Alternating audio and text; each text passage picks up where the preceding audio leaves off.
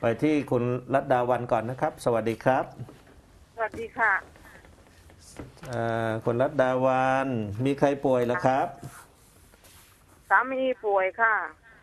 ไปแอบสาผ่ามี ตัดสมอง ลายเซ็นเซ็นไม่ได้เซ็นมอบอำนาจครับ ไม่ได้ครับ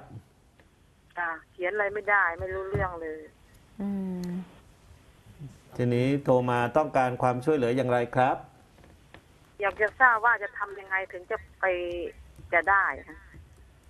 จะจะให้ไปทำนิติกรรมหรือจะทำอะไรครับผม อย่างนี้ต้องทำนิติกรรมเหรอคะหมายถึงว่าเนี่ยที่ว่าให้สามีเซ็นเนี่ยเราต้องการให้เขาเซ็นเรื่องอะไรเขาจะนิที่เรียกถึงเรียกว่านิติกรรมก็คือจะไปฮะของเบิกเบิกเออบัญชีของแฟนเบิกไม่ได้ แต่ก่อนเขาเซ็นให้เบิกได้ แต่ตอนนี้เบิกไม่ได้ เพราะเขาเซ็นไม่ได้โป้ก็แล้วอืมอ๋อไม่ได้แล้ว ยังคุยรู้เรื่องไหมอะไม่รู้เรื่องอะค่ะติดเตียง ไม่รู้เรื่อง ติดเตียงด้วยเดินคือไม่ไม่รู้ได้เรื่องด้วย อืมเดินอันก็นี้ไม่ตามได้ค่ะพวกนั่งได้เดินก็ชั่วไม่โมได้งชั่วโมงก็นอนอีกแล้วครับ เพราะงั้นเงินในบัญชีอะไรต่าง ๆ เหล่านี้ แกก็ต้องเป็นคนเบิกเองจ้ะใช่ไหมตอนนี้จ้ะเซ็นอะไรไม่ได้ มันก็เลยเบิกมาไม่ได้ใช่ไหมใช่ค่ะ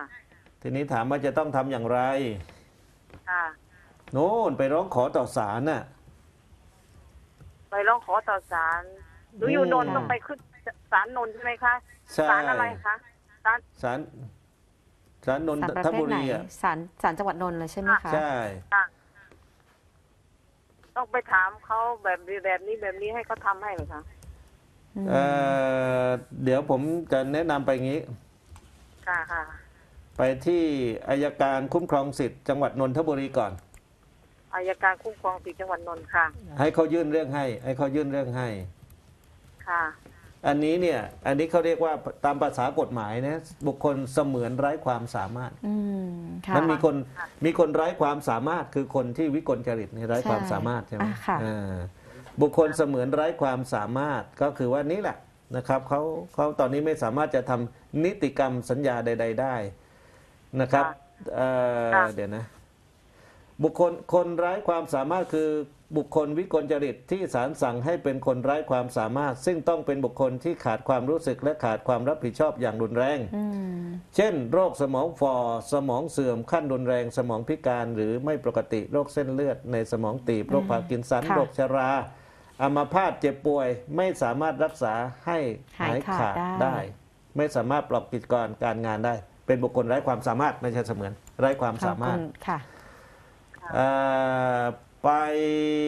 ติดต่อที่อัยการคุ้มครองสิทธิ์จังหวัดนนทบุรี ให้เขายื่นเรื่องต่อศาลให้นะครับ เพื่อค่ะศาลจะได้แต่งตั้งใครคนใดคนหนึ่งอะผู้อนุบาลเป็นผู้อนุบาลอืมคุณอุอบย่างลสมมติหนูก็คุณพี่รัตดาเป็นเป็นกรัฎตหมายค่ะคุณรัตดาเป็นเป็นภรรยาใช่ไหมจดทะเบียนถูกต้องตามกฎหมายค่ะค่ะอายุเท่าไหร่แล้วถ้าคุณรัตดาเนี่ยห้าสิบเจ็ดค่ะ โอ้ยังทำการแทนได้ทั้งหมดก็เป็นผู้อนุบาลสามีได้นะ ค่ะค่ะไปพบอายไอ้ไปพบอัยการคุ้มครองสิทธิ์เลยนะเขาเขายื่นเรื่องให้ฟรีเขายื่นเรื่องให้ฟรีเสียแต่ค่าธรรมเนียมศาลไม่กี่ร้อยบาทค่ะนะให้เขาดำเนินเรื่องแล้วให้เอาหลักสั่งฐานอะไรไปมั่งคะหลักก็ฐาเอาน เอาใบรับรองแพทย์ของเขาไปแหละเนาะว่าเขาเจ็บป่วยยังไงนะครับทะบงค่ะ ทะเบียนบ้านก็ไปประกอบนะครับ ไปพบอายการก่อน ไปพบก่อนค่ะค่ะค่ะ ไปพบก่อน เดี๋ยวผมให้เบอร์โทรศัพท์ไปก่อนก็ได้นะ ค่ะค่ะเดี๋ยวนะเดี๋ยวอากำลังหาติดเบอร์ติดต่อให้อยู่นะคะสำหรับาบงบุทีคคจะลได้ไร้ไม่ต้คอวางมไปสามารทีถเดียวนะ ก็คือโทรไปก่อนนะครับ นัดหมายนะ จะได้อ่าคนที่สามารถที่จะทำยื่นเรื่องนี้ได้นะคะ ก็คือคู่สมรส สามีภรรยา ครับ บิดามารดา ปู่ย่าตายายทวด ผู้สืบสันดานลูกหลานเหลนลืออืมผู้ปกครองนะคะ กรณีที่ผู้เยาว์ไม่มีบิดามารดา ครับอืม เอ่อติดต่อไปที่เบอร์โทรศัพท์นะ 0 2 5 9 1ศูนย์สองห้าเก้าหนึ่ง5463 ห้าสี่หกสาม ใช่ศูนย์ติดต่อไป ศูนย์สองศูนย์สองเก้าห้าหนึ่ง อืมกลับหลังกลับหลังกันหมดแล้ว คุณจดไหมจดไหมจดไหมศูตกลนงย์จะขออนุบาลใครเนี่ย ขอโทษค่ะศูนย์สองใครขออนุบาลใครกันแน่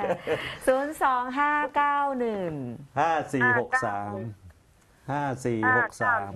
ห้าสี่หกสามค่ะใช่ค่ะ ทวนอีกทีพี่ทวนอีกทีศูนย์สองห้าเก้าหนึ่งห้าหกสาม อ่า ห้าสี่หกสาม อ่าไม่เหลือ ห้าสี่เออเออเออนะเดี๋ยวเดี๋ยวเดี๋ยวเดี๋ยวจะต้องไปยื่นอนุบาลสองคนเลยนะเนี่ยเนี่ยเนี่ย เดี๋ยวศาลสั่งว่าไม่มีไม่มีสิทธิ์เป็นผู้อนุบาล ใช่อ่า โทรโทรไปก่อนนะสำนักงานอัยการจังหวัดนนทบุรีนะครับ ค่ะค่ะ เพื่อเพื่อ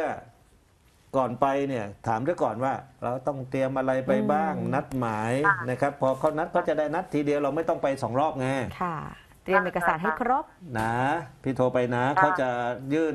เอกสารตั้งให้ฟรี แล้วพอเขาตั้งเสร็จปั๊บเราก็สามารถมาจัดการแทนแทนผู้บุคคลไร้ความสามารถได้ทำแทนได้ค่ะค่ะนะครับ พี่ครับ สวัสดีครับ ค่ะ สวัสดีขอบพระคุณค่ะ ครับ